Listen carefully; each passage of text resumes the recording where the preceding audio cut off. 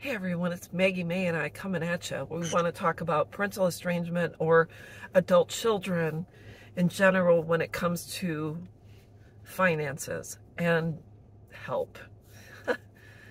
I, just short, sweet, and to the point. I was raised by two parents that worked. Dad was a firefighter, mom was a, nurse, and I was told at the age of 11 or 12, and you can go babysit, you know, if you will take care of your needs, you take care of your wants. So if I wanted anything, I had to work for it. I, I had babysitting jobs. I collected cans from my neighbors. I did lawn work for a neighbor across the street, etc. So I, I was I learned very early on to make my own money. And that's just the way it was. And when I raised my daughters, um, when they were teenagers, my oldest, I told her, you got to get a job, pay for your cell phone, and then eventually you'll pay for your car insurance and etc. And my youngest um, didn't get a job in high school because she was studying to be a salutatorian, or we're trying to get valedictorian, and she became a salutatorian.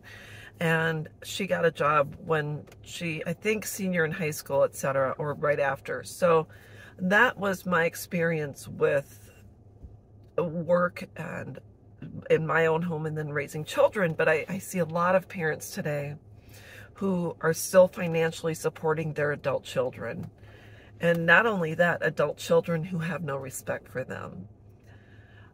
Uh, my thought is if you are physically, mentally, emotionally, etc., able to get a job, you should be working.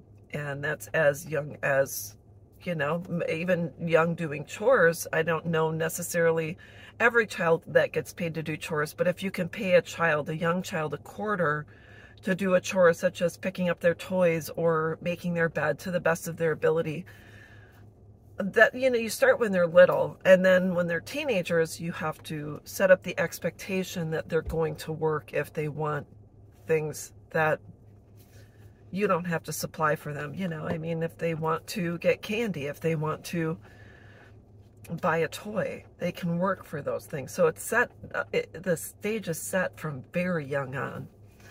And I see a lot of parents who are not only allowing their adult children to live with them primarily sometimes for free, but they're allowing their adult children to bring their partners in and then so on and so forth. And this is the way I feel. If someone's going to give me money for free, I'm going to take it. It, it, it. That would just be normal for if someone uh, had a million dollars and they said, you know, if they came across me and they said, you know, I'd like to gift you some money.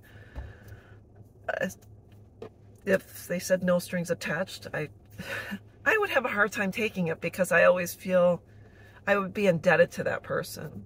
But when we raise our adult children not to, number one, work, not to contribute, not to purchase things they want, and not to contribute to the household, we're setting them up for failure. I am not a bank.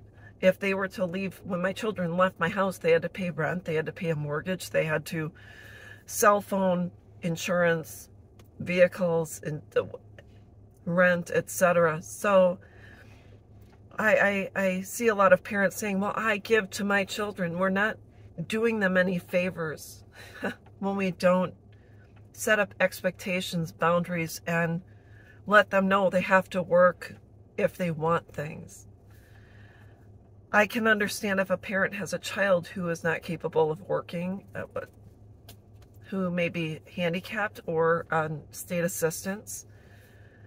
Yet, if someone's if you're giving to someone and you don't have a contract or you don't expect anything in turn, they're not taking advantage of you. They're simply taking and you're giving. So how do you do it? You cut them off. Um, when my daughters moved out, I said, you're going to have to have your own cell phone plan. You're going to have to get your own internet insurance, etc. And that's just the way it is. So I just wanted to talk about that because I know a lot of people are frustrated or blame their adult children for using them, but in all essence, you and only you can stop the cycle. So I know it's hard. It's hard, especially when they live with you, but maybe it's time they move out on their own and kick that baby bird out of the nest. So that's all I wanted to talk about, and I hope you have a great day.